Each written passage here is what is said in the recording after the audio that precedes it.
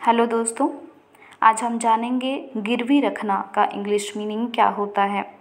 गिरवी रखना का इंग्लिश मीनिंग होता है मॉडगेज प्लेज पॉन और इम्पॉन इसे हम एग्ज़ाम्पल से समझते हैं। Example the young man told that in order to maintain friendship with a foreign woman he had to mortgage his house उदाहरण युवक ने बताया कि विदेशी महिला से दोस्ती निभाने के चक्कर में उसे अपना मकान तक गिरवी रखना पड़ गया। इसी के साथ दोस्तों, आज के इस वीडियो में बस इतना ही। Thank you